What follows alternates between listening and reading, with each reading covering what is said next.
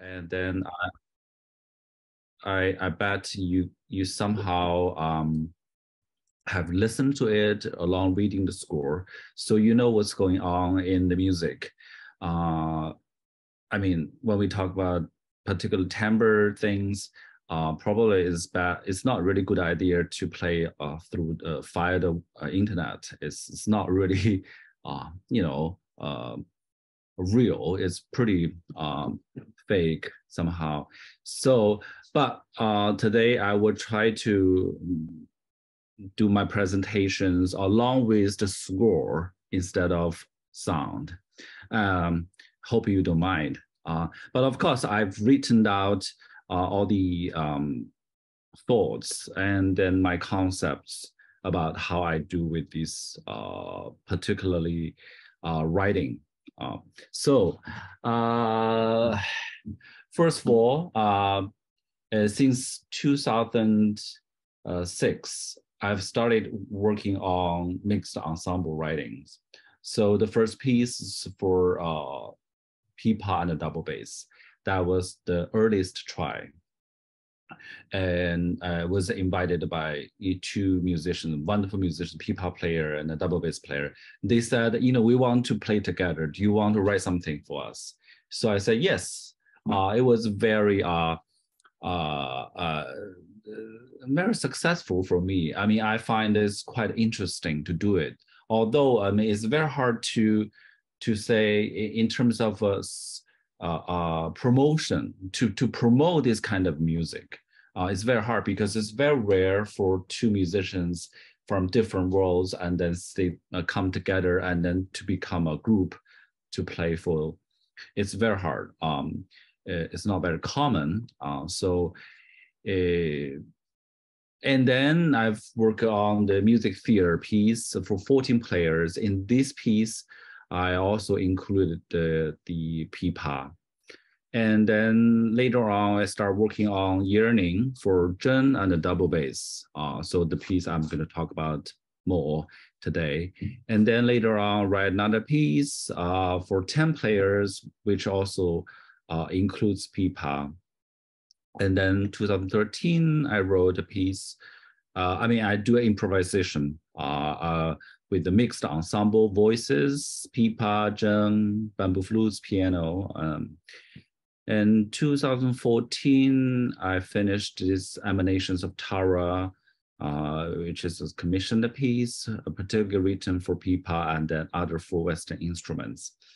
Uh, it's probably is the most uh, audacious uh, uh, work in my in this kind of a uh, genre. Uh, in 2015, I write a piece for flute, zheng, and viola. So if you know the, uh, I mean, I'm sure you guys know the uh, Debussy trio. So it's basically almost the, the replica of Debussy trio, but uh, instead of using harp, I used zheng, zheng. Ah, because zheng in Chinese tradition is pretty much like a water, uh, like a harp. Uh, in 2018, uh, I wrote another piece for three Chinese instruments and then chamber orchestra, a Western orchestra. 19, I wrote a piece for Qin, is a seven string zither. Uh, it's an ancient instrument, right? It's pretty, it's probably the oldest Chinese instrument. Qin and then the violin, viola, and cello. So it's a quartet. Um, and then most recent, I've done a pipa concerto. Uh, so for pipa and the chamber orchestra. So uh, I've gone through a pretty uh, expensive um, trip uh, doing all these kind of uh, mixed ensemble writing. Um, so today uh, I'm going to I'm going to talk about these two pieces, you know, the highlighted two pieces, because I believe I I think these two pieces are probably one of my best representative uh, pieces among all these uh, attempts.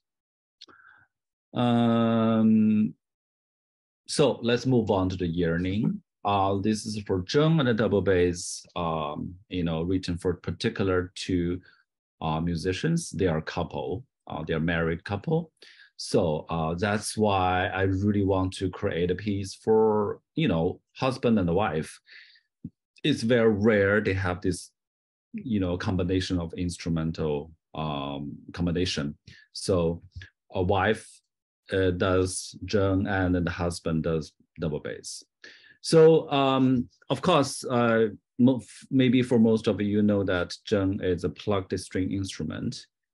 And then of course, and it has lots of uh, you know sound effects, uh, lots of different uh, timbres you can explore as a composer. But of course, I mean, composition is composition. It's not the point that you're trying to utilize all the possibilities. And you you always use something you want, and you you always write choose something, choose some timbres, work for the idea of your composition instead of you know trying to demonstrate all sorts of uh, uh, timbre possibilities. Uh, so uh, I've made a summarize uh, summary. You know, I, I summarized all the often used, probably most used elements, timbre elements in this piece. So the first one, um, you know, you have when you see this uh, um, cross, uh, that means you use the finger flesh instead of the artificial nail. And then when you don't have, uh, when you don't have this cross, so you basically you use the artificial nails, uh, because for the zheng players, when you uh, it's a, it's almost mostly are uh, um, nylon strings or metal strings because that's why they use the artificial nails so they can make a better articulation and they can make the sound project well. Um, when you use the flash, it, you you muffle the sound a little bit. You have different kind of timbre. Uh, it's darker and then dimmer. Um, and when you use the with artificial nails, it has brighter sound. And the other timbres I created here is the using the left side of the bridge. So the zheng has uh, a bridge in the middle. And on the left side, you have this uh, out of tune uh, strings very randomly uh, line up. So then if you play this thing, side, you get very ghostly, uh, haunting sound. And then the third one, uh, timbres created by alternating actual note and harmonic. So basically, for example, if you see this, uh, this E, so you can fast alternate between this, you know, very sparkling, transparent harmonics uh, with the actual E. Sorry, I didn't put the, the clef uh, here. And then the fourth uh, element, timbres created by heating of the nail instead of uh, plucking. So here, uh, you actually don't really pluck the strings. You use the, the, tip of the nail, uh, artificial nails, uh, to tapping the strings and also harmonic uh, in, in harmonic notes. So you have very, very gentle, it's almost like a wood block um, sound. And then uh, you can also see uh, here, number five, so you're basically moving between the Yue Shan here, this two character, Chinese means um, the tuning peg areas. Uh, and then you're moving from the tuning peg areas gradually to the bridge. So basically you're having very, very interesting uh, sound uh, because you, you the touching point, the harmonic touching point in be there between the harmonic touching point and then and the tuning peg area, there are, you know, quite lengthy area, is that you can do some interesting effects by moving the uh, plucking points. So, and then the last one I used uh, pretty effective is that you scratching the single string uh, by, uh, sorry, wrong, by by you you uh, by two fingers, two fingernails. You you grab it, uh, pinch the string, uh, sorry, pinch the string by nails, scratch and move back to you know from one point to another point. So you have this kind of a zipper sound. Uh, so if you, uh, I also put the uh, page numbers next to each uh, sound effect. So you know where you can find these actual uh, areas and while you listen to this piece. And for the double bass, um, uh, I've used these kind of uh, the three major timbre elements.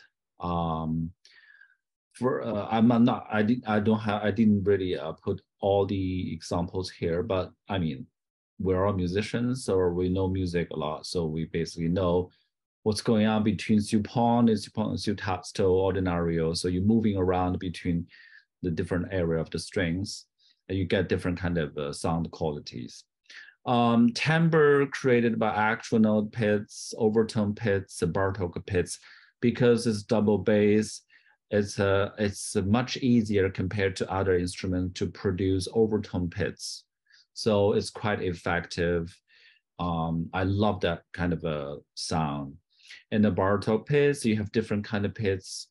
And the timbre created by using different bow techniques, you know, bow hair battuto, different parts of the bow, less pitched battuto to more pitched battuto. So basically you can see in this whole area, uh, while the notes going on, you you have to keep moving the bow, uh, trying to use different parts of the bow to touch to produce these notes in order to get from more percussive and less pitched sound to a more uh, pitched sound uh, with less percussive effects.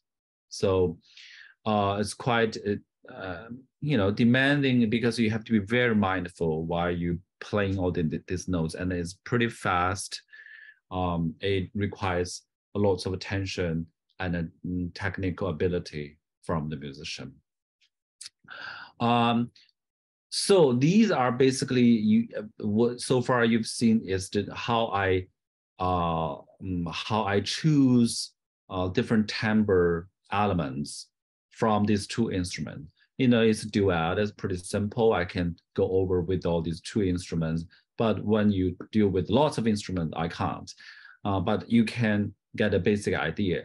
But the more important things that how I deal with the, their timbres, how I uh, interweave these timbre uh, elements is that I have these basic strategies. So first one is pretty simple. So I call it the same pitch principle. So basically, if you want to hear the timbre differences, and if you put them on the same pitch, it's so much easier. You can you can sense, you can perceive the differences. You can perceive the timbre uh, you know differences. Uh, that's quite amazing. Uh, so when you treat in that way, people's attention not really pay attention too much about the melodic lines or rhythmic lines. They actually can really really easy. It's easy for them to feel to perceive uh, the colors. Uh, and that's how we how I orchestrate. And now I will show you some show you the score. You can see how I deal with this. And then matching similar finger techniques because bass can also be plucked, be pizz. Uh, so uh, some tremolos. I mean, I've just put a few uh, examples. So trying to let the pluck instruments and work with other instrument that can be plugged. Uh, so that kind of easy, uh, but the, with the same technique, uh, you can hear different sounds from different instruments. Otherwise, you will be, you know, you, your, your, your attention will be distracted by other uh, music elements, right? Um, the third one is kind of a more abstract. It means energy or personality transferring or transforming between the two instruments. So that means if you uh, it's like a ripple. Um, it's like a ricochet. If you throw a stone into the water and you have those ripples. So uh, if you have something taking place uh, in the zheng, and then how this sound will be carried by double bass or vice versa. Uh, so that's the three thing, three basic strategies I'm trying to work on. If we only talk about orchestration solely, I mean, I'm not really trying to touch the motive uh, development. So let's take a look of the uh, score.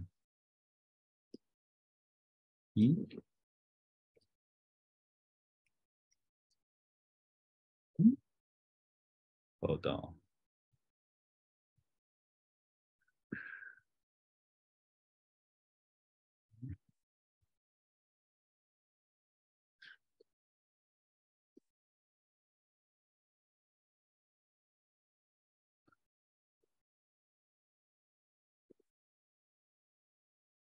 Okay, so let's look at the score. You see how I, for example, um, the same same note principle. For example, you have this D, and then the double bass is D here. So it's it's a tuned uh, whole step up uh, the double bass. So that's why this is sounding pitch is D.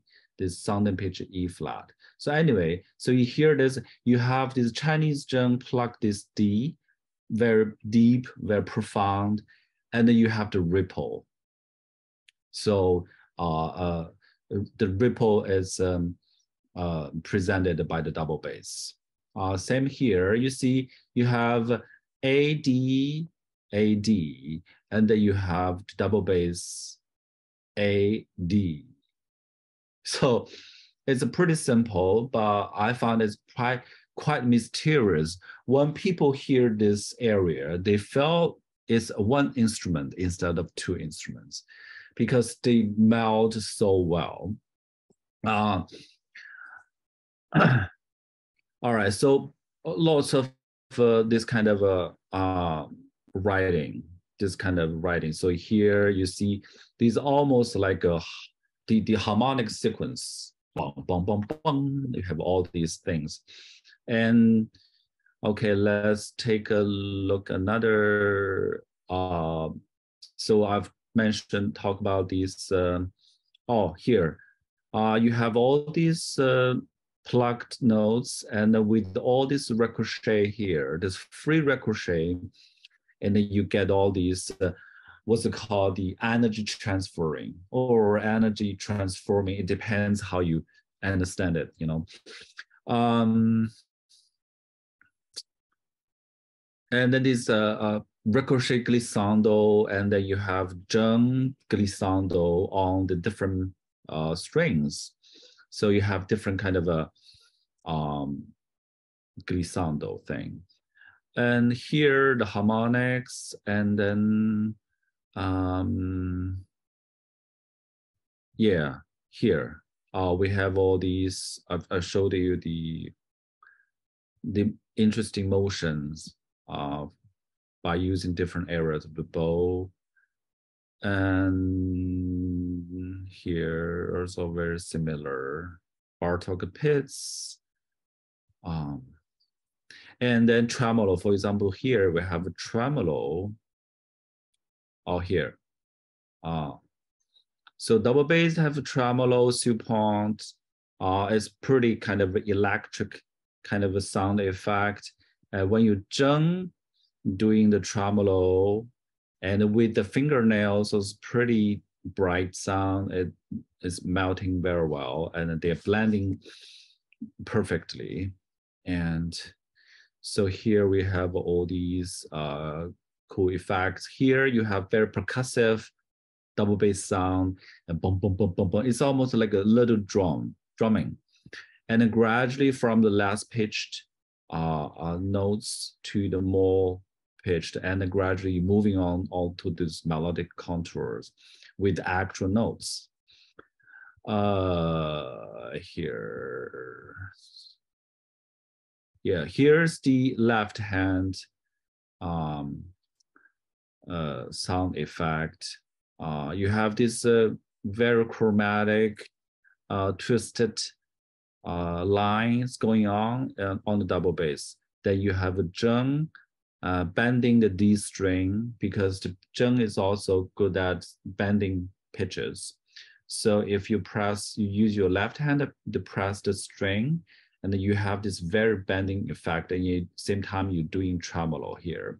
So you almost like having a, you have a this kind of a kind of almost like a tornado kind of a sound effect going on, and then uh, because the zheng doesn't move around because they have very limited uh, realm between for the pitch bending pitch, but the double bass can moving much more uh, obviously then you hear the direction. You hear this how this tornado uh, moving from low area to the high area and then back to the low area is uh, you know turning up and down all the time. So here you have these uh, melodic uh, lines. Um, so pizz, yeah, pizz. Now I, I mentioned the same uh, performing technique. So double bass doing the pizz and also doing glissando. You have the glissando pizz, glissando. You have harmonic pizz. Uh, you have uh, uh, moving around. It's like doing a portamento. Uh, you have this burn or burn. You have all these uh, portamento pizz. Uh, if you know Chinese instruments, you would think, oh, this is almost like a qin. Uh, gu qin is like a seven seven string zither. That's how we do uh, this kind of thing uh, in gu, gu qin, uh, in Chinese Chinese zither. Mm. So you have the uh, zheng doing the harmonic pets, harmonic plucking. So the overall here, you know, the bar 102, uh, you hear this very beautiful, it's almost like a sparkling water effect. Uh, if you follow the score and then listen to listen to the piece, you hear, you know what I mean. Um, um, so similar techniques, trying to help the two instruments uh, uh, work together. Uh, so the last thing is you have this uh, fingernail tapping the strings, harmonic tap, harmonic strings, while the double bass doing ricochet. Uh, you have different lay here. You hear different layers of a, a, a drumming sound.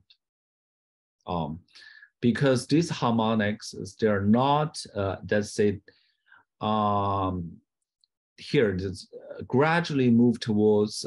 So because you're not really in the actual harmonic touching point, so you your your the harmonic outcome is not very uh, well rounded. It's kind of a darker sound. So uh, I have a little video clip to show you. Uh, so they have different um, possibility here. Uh, let's go back to the beginning. Sorry. Here, see, here is the normal touching point for, you know, for a regular harmonic. But then the zheng player can do, can vary it, can alternate to can create something strange. So you see her left finger, her left pinky finger is touching the bridge. So actually you hear actually the same note, but it kind of like harmonic, but it's not harmonic. Um, and then the third one, so she's moving the finger a little bit next to the bridge, not on the bridge. Then you hear another kind of a sound quality, another kind of timbre. So it's very, very uh, subtle. And because, uh, for example, when the musicians see this area, I told her, oh, can you uh, the harmonics, but try to create some some some sound like a wood block. So she would improvise. She would invent this kind of sound.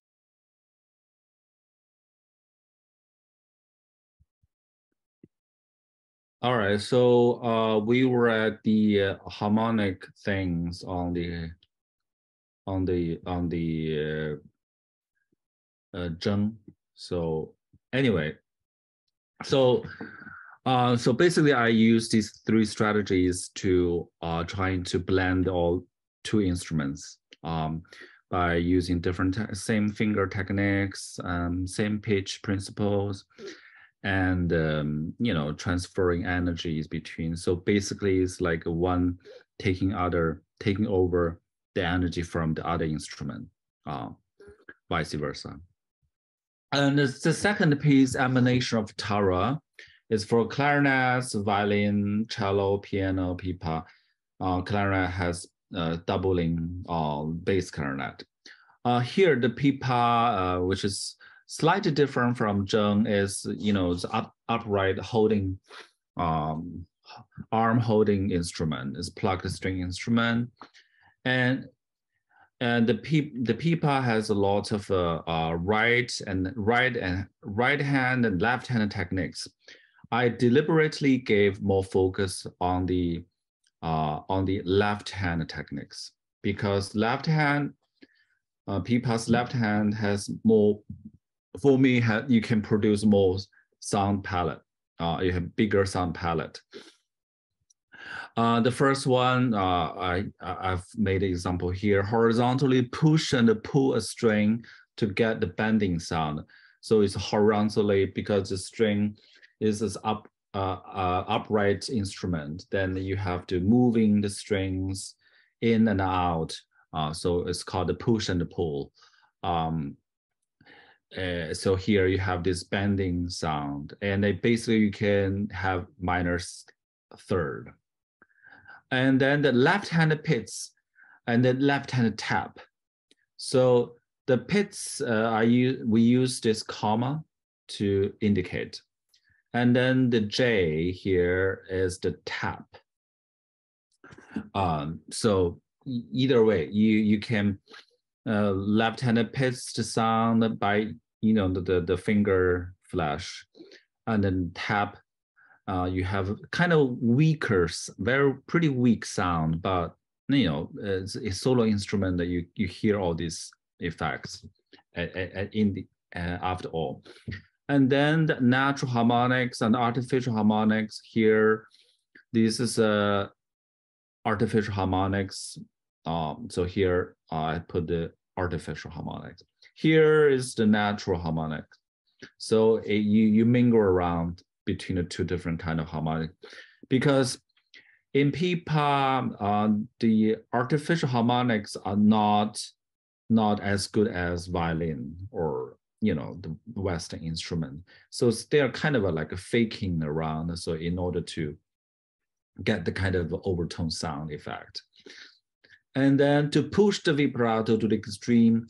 So as i mentioned that you can use the pull and the pull push and the pull to to create a maximum of a, mm, a, a, vibrato. So, you know, you can have pretty wild vibrato um, uh, compared to, you know, the Western, you know, violin, viola, cello.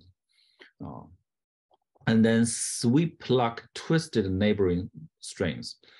So you basically can twist two neighboring strings to have a and then let them touch together. And then you have this very uh, hoarse, very uh, noisy uh, sound. And of course, there are many layers when you produce this sound. Uh, you can let the two strings, because they're metal, you can let two strings touch each other and while twisting. And then you also can let them not touching each other while twist. So you get different kind of a, a sound effect. It can be can be subtle. Uh, it depends how the musician like to do in the in the in in the performing time, uh, in the real time. And then six, slap the soundboard by finger. So it, I have this uh, Chinese word written here. So ask them to do the tapping. It's almost like you you play the drum, but it's a, a box Yeah. Pits nearby the tuning peg. Uh, we hear in Chinese we call the shankou, why? So it's basically in between the the tuning peg and then the the the the crooked area. You, there's uh, some very very short strings area that you can pluck it to get some kind of noisy and crystal sound. Um, here for this piece, because this piece is a quintet, so I have more concerns, I have more uh, uh, design designs about how we deal with these uh, two these instruments, particularly deal with the pipa and uh, how to I uh, relate pipa with other instruments. So the first one is I'm, I'm my overall compositional scheme for this work. Pipa is treated neither as a cultural messenger nor a soloist. I wanted to be active and adaptable participant in ensemble playing. So that means in in in lots of cliche that pipa, when you collaborate pipa with Western instruments, you always treat the pipa like the like the star, like the solo, and other accompanying the pipa. Or no matter what, you just put pipa there is already is the symbol for Chinese culture.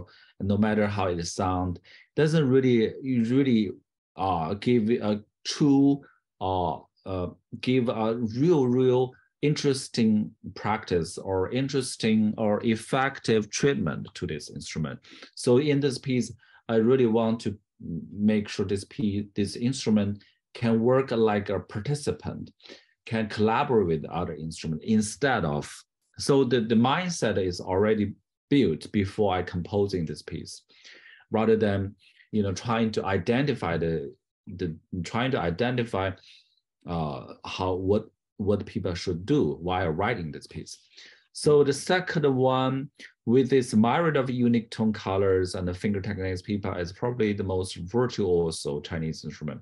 So I try to emphasize its very unique characters when writing this piece. So uh, basically you, you in, in, in different kind of contexts, you will see how pipa it's so uh, flexible. It's so um, uh, it's like a chameleon changing all all the time in order to fit in uh, different kind of uh, Western sound context. So in many areas, for example, I often let pipa heterophonically line up with one or more voices in terms of pitch contour and or rhythmic motions though not exclusively. I mean, that sometimes I, I, because it's a long piece and only five instruments, then I would definitely, you know, treat each instrument, give them a, a, a voice. It's like a jam, you know, it's like a jazz jam.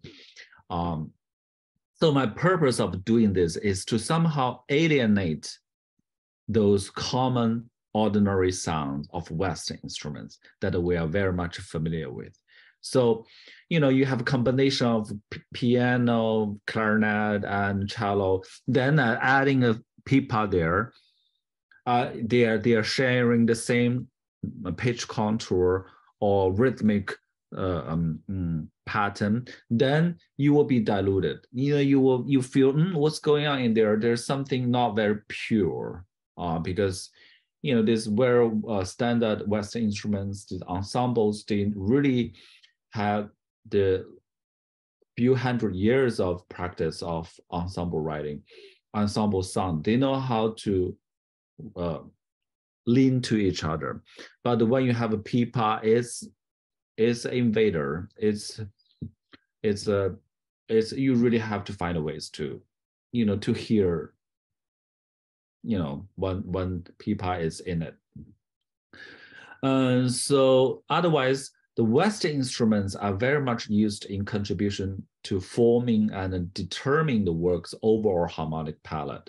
So that means because you have piano, you have a cello, you have enough fundamental bases and then uh, harmonic motions, then they are very determinative. Uh, they are they are the, the the leader for the whole structure. The pipa is not uh, you know decision maker. Uh, So it's uh, so the sorry the last one have the intention of creating series of intricate but spatial sonic networks. So that's the overall uh, orchestrational uh, concept. I don't want to, I want to create a very intricate uh, ensemble playing, uh, but not very dense like Brian Ferneyhough, that kind of dance. Uh, I want to have it very spatial so that um, in the end, you still hear their individual voices. So these are the uh, basic strategies, which is, uh, you know, this area, this section is more important than, you know, this instrumentation. Um, these instrumentation, you guys can figure out by yourselves when you have an instrument, when you work with a certain instrument. But the basic strategies is very com composer oriented you know that's the choice of a composer or what he wants to do. And uh, you see i'm not exhausting all the possibility. I'm not using all the possibility all the techniques. I'm only using some of them in order to you know to present a very clear compositional idea but not uh, doing a demonstration or you know sound pool for for for audience. So uh, if we look at the score, just give you a few example before I finish my presentation. Um,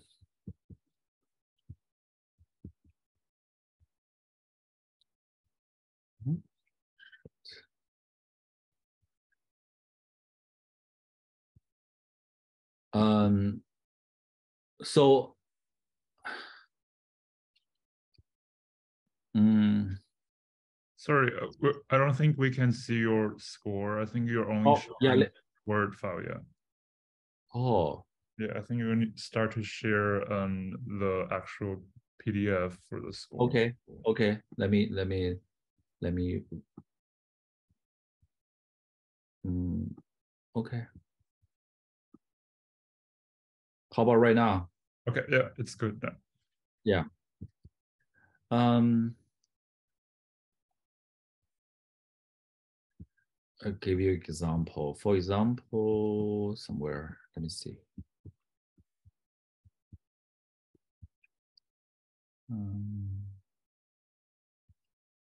for example, here, you see the, the clarinet is doing this very low pitches and then with a certain kind of a rhythmic pattern going on. And then your pipa has here, uh, you have very like wood within wood within instrument and you have pipa almost like doing uh, very similar but totally different kind of performing techniques so this uh, i call it heterophonic uh, lineup so you hear this and then you you're supposed to hear this very pure sound from the clarinet but somehow it's invaded it's intruded by the pipa uh, now these kind of effects happen happening a lot of places. Uh, for example, here, uh, and then here you hear more. Um, so here is the pipa with the uh, piano. Uh, so here pipa go moving on along with the with the uh, violin. Um, uh, so you can see how they line up, you know, sometimes with three, sometimes with four. Um, so it depends. I just moving along with them heterophonically. Um, so it's very adaptable. And then here you have this uh, pipa's, uh, uh, with I call it a sweep. A sweep sound is like a heavy and a sudden chord, a very abrupt sound moving on with the uh, cello, and then you have piano and then violin doing this example, uh, to carry on this kind of a striking uh, abrupt sound. Here you have, if you look at the score, you know what I mean. Uh, here you see uh, the all the instruments doing that kind of a very wavy, uh, meandering uh, uh, lines from low to high. And then the Pipa is doing free glissando, but glissando shape is almost like these um, lines. So you have all these uh, uh, uh, very watering, very flexible chameleon kind of a character. Uh, because Pipa is very virtuosic, Pipa can do lots of things. Um, here we have these harmonics going on. And the last thing I want to show is the the behind the near nearby the tuning peg area. So have all these pluck sound, plucking noises at the end. Mm, so so here, uh, the violin is also doing uh, behind the bridge plucking, and the pipa is doing behind the plucking, cello is doing behind plucking. So they are using, uh, you know, same same principle, same kind of a technique on the same area of the instrument. So you basically identify the instrument, they have a similar structure, the, the instrumental structure, and then you using that area to produce sound and using same kind of technique. And they have a similar rhythmic pattern, uh, but similar, but not the same. And you have this kind of beautiful interwoven lines, uh, interwoven uh, kind of texture, and then the network. Um, so uh, you know, I'm I'm I'm trying to be quick because I I think you all know the you all read the score, you listen the pieces, so maybe it's time for us to for me to to get some questions from you guys if you have. Yeah, um, uh, yeah, it's time for a question. If we can keep you for another few minutes, um, if sure. anyone has any questions. Yeah. Okay. Yeah. Please go, Benjamin. Um, so who? Oh, Benjamin. Benjamin. Yeah. Hmm. Hi. Uh, so, so, I, I wasn't able to present myself earlier, but I am um, I play classical classical double bass at uh, University of Montreal. I see. And I, I was just wondering why um, why you tuned the bass up a tone for the first piece. Oh, it's it is just a standard uh, uh, solo tuning for bass. So, for example, right. 18th century, 19th century Bottesini cello, uh, bass concerto, they tune the bass one uh, whole step up. So you have a brighter, tighter sound to okay. to be uh, to solo. Mm. Okay. Right. What else? Question yeah. maybe on the the use of resonance, and I, I, love in the second piece, the ensemble piece, how mm. much you're using the piano pedal and how much that sense of the the um, Japanese bowl at the end gives you that sense of resonance and ringing. Uh, one thing I also noticed is that you use a lot of fifths and octaves, these very acoustically resonant intervals. And I was wondering if you could talk a little bit about kind of that point where the choice of interval or harmony connects mm. with sound. Mm. It's a uh, it's very intentional. I mean, using fifth is very intentional, um, because if you want to have a thicker and up upright sound when you're writing ensemble music, you must uh, utilize the harmonic sequences. If you don't know, if you are trying to not trying to uh, ignore the harmonic sequence, you won't get a good sound because we are still dealing with traditional instruments. We're not dealing with newly invented instruments, right? Because uh, the tuning, uh, the still the violin is uh, stays for like a few hundred years, you know, uh, and the old instruments they they still uh, the whole the structure is based on the their particular tuning, uh, the fifth. So I find it's quite effective when I want to create a thicker, I mean, thicker, but um, no, uh, more upright sound, you know, not thicker, you know, upright and transparent sound. I found it's for me it's very appealing the sound, but of course I using uh, I also use uh, uh, uh, chromatic tones, uh, half steps. Uh, I'm also using glissandos a lot. Uh, very, uh, you know, very undefined glissandos. You know, you're not calculating the quarter tone or not. Uh, I'm not doing that quarter tone or, or um, microtone music. So, but I want to have that kind of a glissando effect, portamento effect. So, uh, so you have the, all these basic elements. You know, you have a fifth, you have minor tones, you have to glissandos. Uh, that's how I build up my uh, my music uh, you can sound the palette. But also you see I probably also use uh, uh, uh, third based triad, triads uh, or, or seventh chords, but they are not using in the tonal functional uh, system. They are just very independent. They have a they have a tonal gestures, but they have they are not tonal music. Uh, you know because you you, you there's no function aligned to to this music. It's not like from one to five, five to, you know, to seven, something like that. Yeah. If I could ask a quick follow up on that, do you also think higher in the harmonic series? So you have the octave and the fifth. Do you think about the the third that you find in the harmonic series, the seventh, and things like of that? Course. Yeah, eleventh. You know, sometimes I, you know, the Messiaen uh, always thinks that the the the the end the, the ending of a phrase should be the the the the, the sharp fourth to the one. So that the for example, if you want to resolve from five to one, it's not from G to C, it's from F sharp to G, because he believes this eleventh, uh, the the overtone is the last overtone human being can hear.